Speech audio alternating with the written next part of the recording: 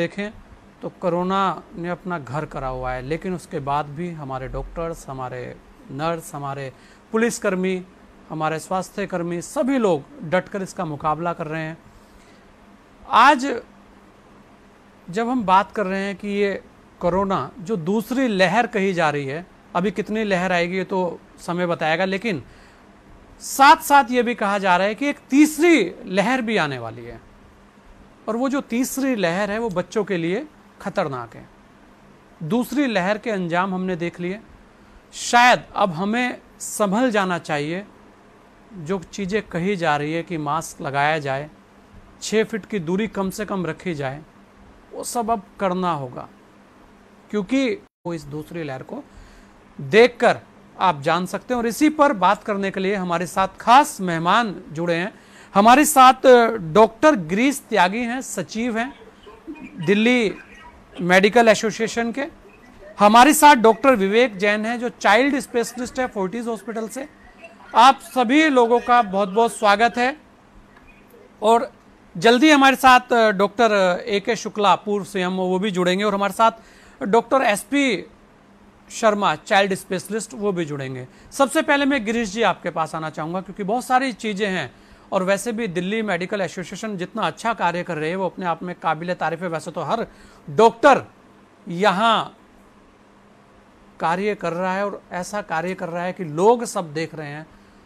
बहुत सारी चीज़ें हैं, बहुत सारी बातें हम यही कहेंगे कि वर्तमान के हालातों पर आप क्या कहेंगे? और आज हम बात करेंगे क्योंकि दूसरी लहर, पहली लहर, ये तो सबने देख ली। जो तीसरी लहर की बात हो रही है, वो क्या है? डॉक्टर गिरीश जी जी।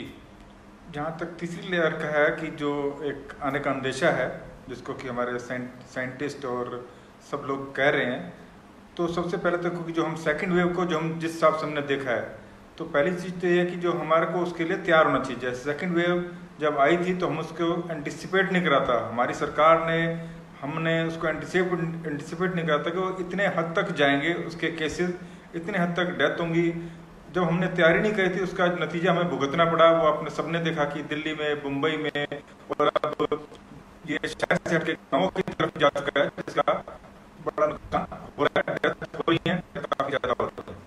तो तीसरी लहर हमारा जो आ रही है करीब करीब मेरे ख्याल कुछ समय बाद जैसे केसेस घटने शुरू हुए हैं। तो जो हम, हमने सेकंड वेव के लिए तैयारी करी है इसी को कंटिन्यू करते हुए थर्ड वेव के लिए पूरा अपने आप को स्ट्रेंथन करें। अपने आप को मज़बूत करें इंफ्रास्ट्रक्चर के हिसाब से फैसिलिटीज़ के हिसाब से मेडिसिन के हिसाब से ऑक्सीजन के हिसाब से, और किसी भी क्रिटिकलिटी तक अगर पहुँचे तो उसको हम अंजाम दे सकें मरीजों की सेवाओं में। नहीं बिल्कुल, और डॉक्टर गिरीश जी, दो तीन चीज़ें इसमें और हैं। एक तो अभी नई एक जो गाइडलाइन आई है, उसके अंदर कहा गया है कि प्लाज्मा थेरेपी अब ज़रूरी नहीं है। उसे लेकर भी हम आपसे जानना चाहेंगे कि हर बार कुछ कुछ दिनों के बाद कोविड की जो गाइडलाइन है, वो भी चेंज होती रही है। उसके अलावा ये भी कहा जा रहा है कि पहले जो वैक्सीन का टाइम था, वो कोवैक्सीन 28 दिन और कोविशील्ड जो है, वो बयालीस दिन। लेकिन अब उसे भी हफ्तों में कन्वर्ट कर दिया। इस पे भी हम चाहेंगे कि आप थोड़ा सा प्रकाश डालें। जी। जी। जैसा कि जो कोरोना है ना, इसको अगर हम कहेंगे थ्री सीज एक पे कोरोना है दूसरे पे कन्फ्यूज़न है, तीसरे पे सर्कुलर है। यानी एक हर हर आए दिन, दूसरे दिन एक नई गाइडलाइन आ जाती है, चाहे सरकार की तरफ़ से, चाहे डब्ल्यूएचओ की तरफ़ से हो। और इसी हिसाब से कन्फ्यूज़न इतना बना हुआ है। जहाँ तक प्लाज्मा का था, पहले जब फ़र्स्ट वेव चल रही थी, उसमें प्लाज्मा लगाया गया लोगों का हाँ जी प्लाज्मा फ़ायदेमंद है, नहीं फ़ायदेमंद है। और लोग भटक रहे थे सड़कों पे प्लाज्मा लेने के लिए डोनेशन ढूंढ रहे थे कोई डोनर मिले कई बार डोनर मिल जाते थे कई बार डोनर नहीं मिलते थे। लेकिन अब अल्टीमेटली उन्होंने कहा कि प्लाज्मा की का इफेक्टिवनेस उतना नहीं है। तो एक तो ये बड़ा कन्फ्यूज़न है। इसके साथ ही रेमडेसिविर का हम देखें मेडिसिन एक रेमडेसिविर जिसकी काला बाजारी और पूरी तरह से होती रही उसका भी एक रोल कभी रेमडेसिविर बहुत ज़्यादा फ़ायदेमंद है किसमें फ़ायदेमंद है तो ये लोगों में कन्फ्यूज़न और फैलता रहा तीसरी चीज़ जो आपने बताई वैक्सीनेशन की। वैक्सीनेशन पे भी कंफ्यूजन चलता रहा। पहले दोनों का था कि चार हफ़्ते का होगा। मतलब अट्ठाईस दिन बाद कोवैक्सीन हो या कोविशील्ड हो। जो इंडिया में दो वैक्सीन बन आज की डेट में अवेलेबल है कोवैक्सीन और कोविशील्ड। जी। उसके बाद कोविशील्ड का छः से आठ हफ़्ते करा गया। उसके बाद बारह से सोलह हफ़्ते करा गया। तो इसमें कन्फ्यूज़न एक लग रहा है। और खास तौर पर कन्फ्यूज़न जो अभी कुछ दिन पहले ही जो कोविशील्ड का उन्होंने टाइम ड्यूरेशन करा है सेकेंड डोज का बारह से सोलह। उसमें लोगों को लगता है कि क्योंकि वैक्सीन अवेलेबल नहीं है हमारे पास इसलिए शायद सरकार ने ज़बरदस्ती को अपने आप को बचाने के लिए इसकी इसका ड्यूरेशन बढ़ाया। तो इस हिसाब से ये कंफ्यूजन लोगों में फैला हुआ है और ये लोग जी। जी। नहीं, ये कन्फ्यूज़न दूर होना बहुत ज़रूरी है और ख़ासकर जिस तरीके का कन्फ्यूज़न आज चल रहा है, उसमें इसी तरीके की बातें हो रही है कि शायद वैक्सीन नहीं है। इसी को दूर करने का प्रयास हम भी कर रहे हैं कि जो डॉक्टर्स हैं, वो आगे आकर बताएँगे। और हमारे साथ डॉक्टर विवेक जैन भी हैं। डॉक्टर विवेक जैन, आपका भी स्वागत है। विवेक जी, बहुत सारी चीज़ें हैं। और आज के जो हालात हैं, वो भी आपके सामने हैं। आपसे बेहतर कौन जान सकता है? हम ये कह रहे थे कि बच्चों को लेकर जो डर है अब वो ज़्यादा बढ़ गया है। पहले भी कोरोना को लेकर डर था, लेकिन ऐसा कहा जा रहा था कि शायद बच्चे इससे दूर रहेंगे, लेकिन इस बार भी कहीं ना कहीं हल्का फुल्का बच्चों के अंदर भी है। लेकिन जो तीसरी लहर की बात हो रही है, वो बड़ी अपने आप में चिंताजनक बात है। उसके अलावा जो वैक्सीन बन रही है बच्चों वाली, वो कितनी इफ़ेक्टिव रहेगी?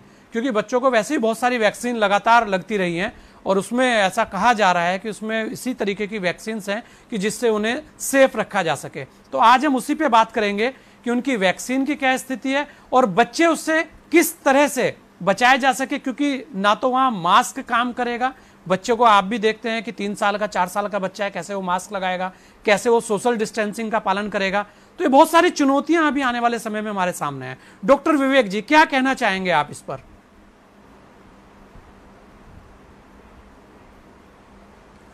देखिए, गोस्वामी साहब, जैसा कि आप जानते हैं कि हम पास्ट की बात करें या प्रेजेंट की बात करें, हम ये सोचते थे कि कोविड कभी बच्चों को इफ़ेक्ट नहीं करता। अगर आप साल भर पहले की बात करोगे कि वो खाली ओल्ड एज पीपल या फिर जो बुज़ुर्ग लोग हैं उनको इफ़ेक्ट करेगा that was the case in first wave first wave में यही रहता था कि खाली बड़ों को इफ़ेक्ट करेगा। But that was not the fact अगर हम देखेंगे वापस जाके तो फ़र्स्ट वेव में भी बच्चे इफ़ेक्ट होते थे। और सेकेंड वेव में, क्योंकि ओवरऑल केसेस ज़्यादा आए तो हमारे पास बच्चों के केसेस भी ज़्यादा निकल के आए। So, babies and small children have always been affected from COVID. So, escape कोई नहीं है। पहली बात तो ये फॉल्स सिक्योरिटी किसी को भी देना या फील करना कि बच्चे इससे स्पेयर हो जाएँगे दैट इज़ नॉट करेक्ट ये सही नहीं है। मगर एक बहुत अच्छी बात बच्चों में ये देखी गई है, जो हम पीडियाट्रिशियंस फील करते हैं बाय गॉड्स ग्रेस ज़्यादातर बच्चे इस बीमारी से आराम से फाइट कर जाते हैं। एंड कॉम्प्लिकेशन के चांसेस बच्चों में बहुत ही कम पाए जाएँगे। कि उनमें एडमिशन की रिक्वायरमेंट या सिक होने के चांसेस बहुत नॉन सिग्निफिकेंट होते हैं which is a very fortunate thing now coming to you know how to prevent kids as you said कि सबसे बड़ी प्रॉब्लम बच्चों के साथ हमारी यही आती है कि ना तो हम छोटे बच्चों को मास्क पहनने के लिए कह सकते हैं, और ना ही हमारे पास अनफॉर्चुनेटली अभी कोई वैक्सीन अवेलेबल है, ना ही कोई ऐसी प्रिडिक्टेड वैक्सीन नियर फ्यूचर में आने वाली है कि जो कि हम छोटे बच्चों को जिससे हम प्रोटेक्ट कर पाएँ। सबसे बड़ा जो वरीसम बात यह है कि अब हमारी जो ओल्डर पॉपुलेशन है that has been immunised young you know middle age people have been immunise तो कोविड अब जो थर्ड वेव आएगी, क्योंकि बड़ी एज ज़्यादा तक तक इम्यूनाइज हो चुकी है तो देर इज़ अ पॉसिबिलिटी ऐसा कोई प्रोडिक्शन नहीं है कि बच्चे ही अफेक्ट होंगे बट ऐसी पॉसिबिलिटी है कि बच्चों में ये इन्फेक्शन ज़्यादा देखा जाए। So you know the prevention remains the same जो कि पिछले हम इतने समय से देख रहे हैं कि यू you नो know, हमें कोविड अप्रोप्रिएट बिहेवियर कोविड बच्चे यूजली बाहर से लेके नहीं आते क्योंकि बच्चे बाहर नहीं जाते हैं। ये जो इन्फेक्शन है यूजली हम बड़े लोग they carry we carry from our work place और हम बच्चों को जाके देते हैं। तो इसलिए कोविड अप्रोप्रिएट बिहेवियर जो older people you know people हुआ जिनको मजबूरी में बाहर काम के लिए बाहर जाना पड़ता है they should take all precautions की उनको कोविड ना coming back to your vaccination point कि वैक्सीनेशन यू नो बच्चों में कब आएगी और उससे कितनी सेफ्टी होगी? If you see it there is no no prediction कि एकदम इमीजिएटली अभी कोई तीन महीने छः महीने हमारे पास कोई सेफ़ वैक्सीन पर्टिकुलरली छोटे बच्चों के लिए आने वाली है। तो हमारे पास जो वेपन है वो यही है कि हम बेसिक रूल्स फॉलो करें विच इज़ सोशल डिस्टेंसिंग हम बड़े लोग एटलीस्ट मास्क पहने और हैंड हाइजीन और बासिक जो बेसिक जो हाइजीनिक प्रैक्टिस है उनको हम फॉलो करते रहें। बिल्कुल बात यही है, घूम फिर कर कि मास्क लगाना है, हाथ सैनिटाइज करना है, कितना सेफ़ आप को रहना है, वो आपके ऊपर है, अगर आप सेफ़ हैं तो घर सेफ़ है, यही बात सभी कह रहे हैं। हमारे साथ डॉक्टर ए के शुक्ला जी भी हैं, पूर्व सीएमओ हैं, आपका भी बहुत बहुत स्वागत है। शुक्ला जी, अभी बहुत सारी चीज़ें हैं, बहुत सारे डॉक्टर्स ने बहुत सारी बातें बताई। वर्तमान समय में हम बात कर रहे हैं कि अभी जो सेकेंड वेव चल रही है वो सभी ने देखी कि कितनी घातक सिद्ध हो रही है। और कहीं ना कहीं वो ये भी कह रही है कि जो स्वास्थ्य सेवाएँ हैं, उस पर एक बहुत बड़ा प्रसन्न चिन्ह भी लगा रही है कि आखिर क्यों हम चेते नहीं। ये ये अपने आप में एकदम कटु सच्चाई है और इस पे सबको सहमत भी होना चाहिए कि हम फेलियर रहे कहीं ना कहीं। लेकिन ये अच्छी बात है कि चाहे वो सरकार है या लोग हैं, उन सबने कैसे ना कैसे करके इस स्थिति पर एक कहते हैं ना, पार पाने के लिए लड़ाई लड़ रहे हैं अभी। अभी कुछ चीज़ें नहीं है। एक बात तो यह सबके मन में कि जिसको कोविड हो चुका, क्या वापस उसको दोबारा कोविड हो जाएगा? क्योंकि ये अभी चल रहा है, ऐसे बहुत सारे केस भी आए हैं कि जिसको दोबारा भी हुआ। एक चीज़, दूसरी बात, जो वैक्सीन का गैप है, क्योंकि एक वैक्सीन लगने के बाद दूसरी वैक्सीन को कह रहे हैं, पाँच से छह हफ़्ते, आठ हफ़्ते, दस हफ़्ते तक की बात हो रही है। तो क्या वो एक वैक्सीन काफ़ी है उसे बाहर जाने के लिए? या वो एक वैक्सीन लगाने के बाद भी आदमी घर में ही कैद होकर रहेगा। जी, शुक्ला जी।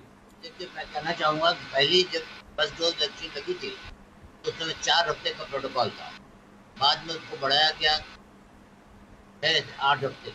बारह हफ़्ते कर दिया गया।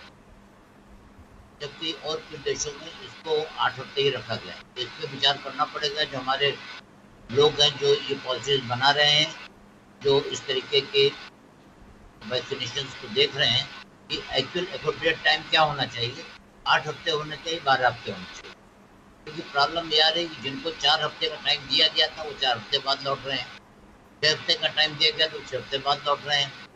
लेकिन गाइडलाइंस की वजह से उनको परेशानी हो रही है वह गाइडलाइंस है तीन एक तो वैक्सीनेशन लेकिन ये भी बात है कि जिनको वैक्सीनेशन दो डोज हो चुके हैं, वो भी इन्फेक्ट हो रहे हैं, उनको डेथ भी हुई है कई केसेस में। अली जी डॉक्टर के जी अग्रवाल साहब जैसे उनके बारे में भी ये चर्चा है कि उनको दोनों डोज लगी थी और उनकी डेथ हुई। तो ऐसा कोई रूल नहीं है, हंड्रेड परसेंट श्योरिटी नहीं है कि जिसको दो डोज लग जाएगी, कोरोना नहीं होगा। हाँ अगर उसके शरीर में एंटीबॉडीज बन गई हैं तो हो सकता है कोरोना इन्फेक्शन हो, वार्ड ऑफ़ हो जाए, उसको पता ना चले अनसिम्टोमेटिक हो, या थोड़ा बहुत सिम्टम हो, कोई फैटल डिज़ीज़ ना हो। ज़्यादातर संभावना यही होती है इसलिए कोई भी वैक्सीन हंड्रेड परसेंट श्योरिटी नहीं देती। किसी की सत्तर है, किसी की अस्सी है, अब स्पुतनिक वाले और ज़्यादा क्लेम कर रहे हैं। नंबर दो, ये कहना कि जो इस समय जो सेकेंड वेव है, ये सेकेंड वेव है, वास्तव में खतरनाक है। एक अजीब माहौल बन गया है पूरे देश में। लोगों का मिलना जुलना, आपसी सामंजस्य समाप्त हो गया है। हर आदमी डरा हुआ है कि पता नहीं कब क्या होगा। आज भी जो मैंने दूरदर्शन पे देखा कि मौतों की संख्या चार हज़ार दो सौ, ढाई सौ से अधिक है। तो ये नहीं मैं समझ पा रहा हूँ कि अगर केसेस कम हो रहे हैं तो मौतें क्यों बढ़ रही हैं? अगर केसेस कम हो रहे हैं तो मौतें भी कम होनी चाहिए। इस बारे में जो भी हमारे पॉलिसी मेकर्स हैं, उनको चाहिए कि सघन विचार करें कि भाई, मौतें क्यों हो रही हैं और हम इनको कैसे रोक सकते हैं? क्योंकि काफ़ी मौतों की वजह से, क्योंकि मौतें हो रही हैं क्रिमेशन भी लोगों में एक भय व्याप्त हो गया। इस भय को समाज से दूर करने की ज़िम्मेदारी हम सब की है एज ए सिविलियन हमारी है, सरकारों की भी है, और जो भी हमारे गवर्नमेंट ऑफिशियल्स हैं उन सब की ज़िम्मेदारी बनती है कि इस भय को दूर करें और कुछ ऐसी कार्रवाइयाँ करें जिससे जितनी जल्दी से जल्दी हो सके ये महामारी की स्थिति समाप्त हो और हम लोग अपना नॉर्मल जीवन जी सकें। नहीं बिल्कुल बहुत सारी चीज़ें हैं। शुक्ला जी, आपने बहुत सारी बातें कहीं अपने आप में बड़ी अहम है, क्योंकि आज की तारीख में लोग एक तरीके से कैद महसूस कर रहे हैं। कहीं ना कहीं बहुत सारी चीज़ें बहुत सारी बातें हमारे साथ doctor S P Sharma ji भी हैं, चाइल्ड स्पेशलिस्ट हैं। शर्मा जी, आपका भी बहुत बहुत स्वागत है। अगर हम देखें, शर्मा जी, बहुत सारी बातें सभी लोग कह रहे हैं। सब एक ही बात यहाँ सबसे अहम हो जाती है कि मास्क जो है और हैंड सैनिटाइज़र। ये जो अपने हाथों को आपको बार बार धोते रहना है, मास्क लगाना है, इसको लेकर ही सौ प्रतिशत हम कहेंगे कि सही है कि भाई तब तक आप सेफ़ है, क्योंकि वैक्सीन के बाद की स्थिति आपके सामने है।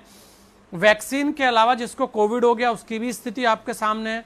तो ऐसे में जो तीसरी लहर बच्चों की हो रही है, जिसके लिए हमने अभी विवेक जी से भी बात की, उन्होंने भी बहुत सारी चीज़ें बताई। हम आपसे भी जानना चाहेंगे कि जो तीसरी लहर की अगर कोई लहर आएगी तो शायद वो बच्चों के ऊपर ज़्यादा जाएगी। तो ऐसे में जो वैक्सीनेशन है, जिसकी हम बात कर रहे हैं, जिसके भी शुक्ला जी ने भी बोला कि इस पर कंफ्यूजन है, उस पर उसके अलावा ग्रीस त्यागी जी ने भी बोला कि एक बहुत बड़ा कंफ्यूजन है।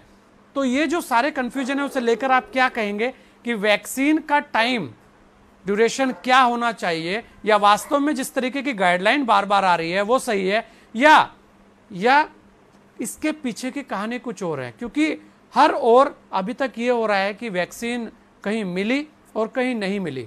ये अलग बात है कि बहुत ज़्यादा प्रयास सब कर रहे हैं, लेकिन अभी जो स्थिति आई है, ऐसा कहा जा रहा है कि वैक्सीनेशन का टाइम बढ़ा दिया जाए। वो टाइम बढ़ाने को लेकर हर किसी के मन में शंका है तो इसलिए कहीं ना कहीं पैनिक है आदमी। वो चाह रहा है कि मेरी वैक्सीन अभी लग जाए, क्योंकि दूसरा पता नहीं कब आएगा। तो ये जो स्थिति है, इसे लेकर भी हम चाहेंगे, क्योंकि सारी बातें डॉक्टर्स ज़्यादा अच्छे से बता सकते हैं और बच्चों को लेकर सावधानी, वैसे तो डॉक्टर साहब ने भी बताई, लेकिन हम आपसे भी जानना चाहेंगे कि आगे बच्चे कैसे सुरक्षित रहें। जी, डॉक्टर शर्मा जी। जी जी एक्चुअली ये जो सेकेंड वेव हुई, ये महामारी हुई, और सेकेंड वेव इतनी ज़ोर से होगी, इसके बारे में किसी ने बहुत ध्यान नहीं दिया, गंभीरता से नहीं लिया। इस महामारी को इनफैक्ट हमारी जो भारत का हेल्थ सिस्टम है, जो वेरियस गवर्नमेंट्स भी रही हैं किसी ने हेल्थ इंफ्रास्ट्रक्चर पे इतना ध्यान नहीं दिया, ना ही उसके लिए इतना बजट दिया। वो इस सरकार ने भी किया, लेकिन जब कोविड शुरू हुआ तो थोड़ा ध्यान दिया गया इंफ्रास्ट्रक्चर डेवलप किया गया। लेकिन बीच में जो थोड़ी लहतलाली हो गई कि जनवरी, फरवरी में कोई वैक्सीन मैन्युफैक्चरर चाह रहे थे आना गवर्नमेंट ने परमिशन नहीं दी। सरकार के साइंटिफिक एडवाइज़र कोविड के जो इंचार्ज थे, उन्होंने भी अलर्ट किया था फेबररी एंड मार्च बिगनिंग में। कि ये वेव काफ़ी खतरनाक हो सकती है बट उतना इसके ऊपर किसी वजह से ध्यान नहीं हो पाया। तीसरी चीज़ है कि वैक्सीन जो बन रहे हैं, वो सरकार को सब प्लान ये करना था कि जो भी वैक्सीन बन रहे हैं, पहले हम अपने देश का ध्यान रखें, क्योंकि यहाँ की जो जनसंख्या है, वो बहुत ज़्यादा है। पूरा ध्यान इसी तरफ़ होना चाहिए था। और सरकार अपनी तरफ़ से कर रही है कोशिश जितना हो सकता है, लेकिन मुझे लगता है कि जो टीकाकरण हो रहा है, वो, या टीके जितने प्रोड्यूस हो रहे हैं, वो इस समय जनसंख्या को देखते हुए, कोविड के फैलाव को देखते हुए बहुत कम है। हमारी जनसंख्या के मात्र टेन परसेंट लोग अभी वैक्सीनेट हुए हैं, जो कि बहुत ही कम है। जिस हिसाब से केस फैले हैं, जिस हिसाब से चीज़ें चल रही हैं, ये बड़ी दुख भरी बात है बट हाँ सरकार अपनी तरफ़ से प्रयास कर रही है। अब दूसरे वैक्सीन भी आ रहे हैं, जैसे स्पूतनिक भी आ रहा है इसको फाइजर को भी परमिशन दे दी गई है, और जाइकॉफ कैडिला का वैक्सीन भी ट्रायल फ़ेज़ में है second trial second phase trial उसका चल रहा है। तो ये सब चीज़ें थोड़ा सा अगर जल्दी शुरू हो गई होती तो मेरे ख्याल से चीज़ें इतनी खराब शायद नहीं होती जितनी आज नज़र आ रही हैं।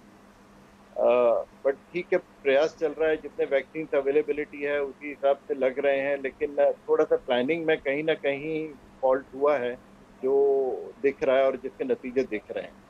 बच्चों के मामले में मैं ये कहना चाहूँगा कि एक तो पहली बात है, अभी बच्चों की वैक्सीन अभी दो वैक्सीन में ट्रायल चल रहा है। इंडियन गवर्नमेंट ने कोवैक्सीन को दो से अठारह साल के बच्चों के ट्रायल की परमिशन दे दी है। फाइजर अमेरिका में कर रहा है बच्चों पे ट्रायल दो से अठारह साल के बच्चों के लिए। तो ये वैक्सीन जब आएँगी, उनके research first phase second phase third phase trial होंगे तब पता पड़ेगा कि इनको कितने गैप में बच्चों में देना सुरक्षित रहेगा। बट मैं ये चाहूँगा और ये रिकमेंड करना चाहूँगा कि हमारी सरकार बच्चों के पॉइंट ऑफ़ व्यू से थोड़ी सी तैयारी अपनी अच्छी रखे कि एक जैसे इन्होंने कोविन ऐप बनाया वैसे बच्चों के लिए एक सेपरेट ऐप बनाए। हर शहर में डीएम जो भी एडमिनिस्ट्रेटिव अधिकारी हैं आर डब्ल्यू एस हैं, गाँव में प्रधान हैं, ये सब बच्चों की एक लिस्ट वगैरह सब अपनी तैयार करके, पहले से तैयारी करके रखें कि जब भी वैक्सीन आता है, क्योंकि वैक्सीन अभी ट्रायल फ़ेज़ में है, जब भी आता है तो जितना जल्दी हो सके उसे लगाया जाए, उतना उचित है। और उसके लिए जैसे आजकल बच्चों को कोई अस्पताल, हॉस्पिटल नहीं ले जाना चाहता रूटीन वैक्सीनेशन के लिए नहीं ले जाना चाहता कि भाई कहीं बच्चा बीमारी ना पकड़ ले।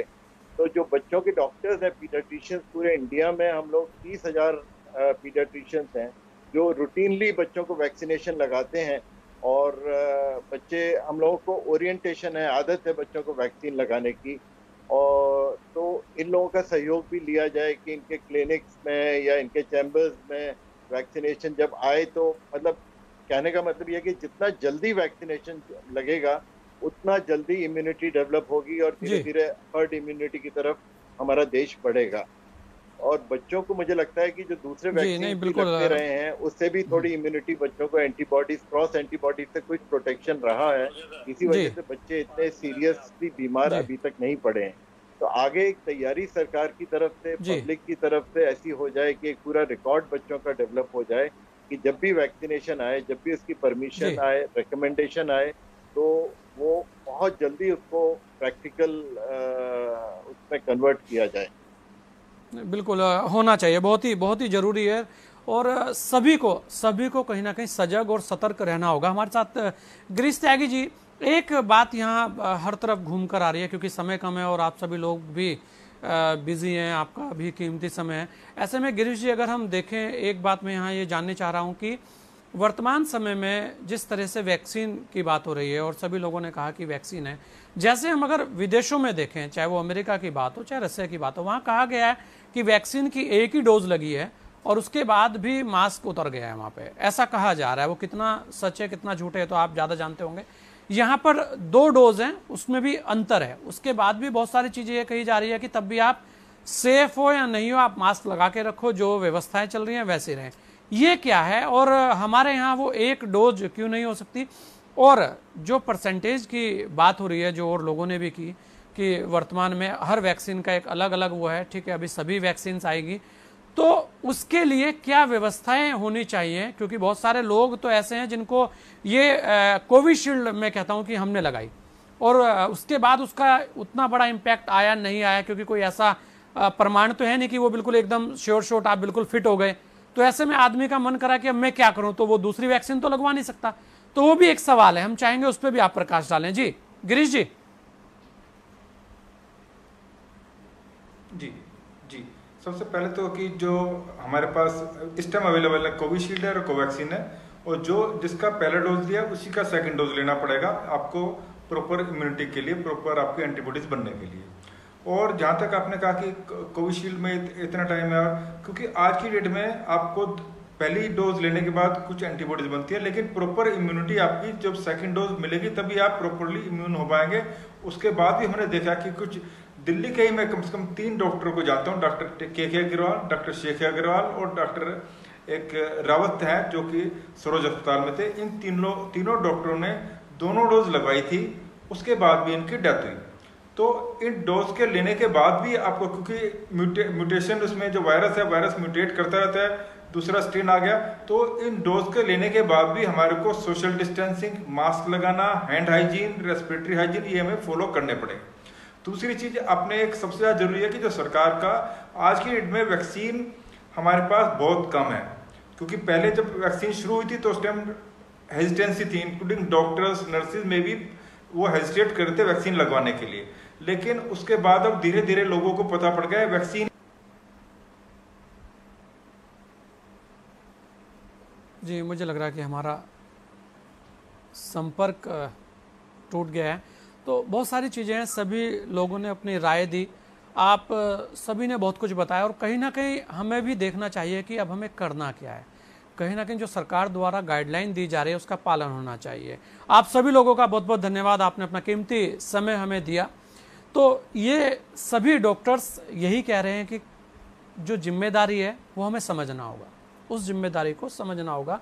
और जो सोशल डिस्टेंसिंग की बात हो रही है या हाथ धोने की बात हो रही है या मास्क की बात हो रही है? उसे मानना होगा, उसे करना होगा।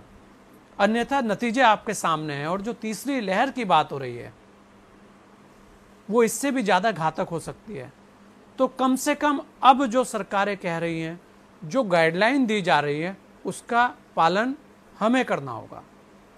क्योंकि जब हम सुरक्षित रहेंगे, तभी हमारा परिवार भी सुरक्षित रहेगा और तभी देश भी सुरक्षित रहेगा। यहाँ एक शब्द बहुत ज़्यादा तेज़ी से गूंजा कि हमारी आबादी बहुत ज़्यादा है। तो ये जो आबादी ज़्यादा है, इस पर भी विचार करना होगा। कहीं ना कहीं अब समय आ गया है कि इस पर भी कोई ना कोई कानून बनना चाहिए।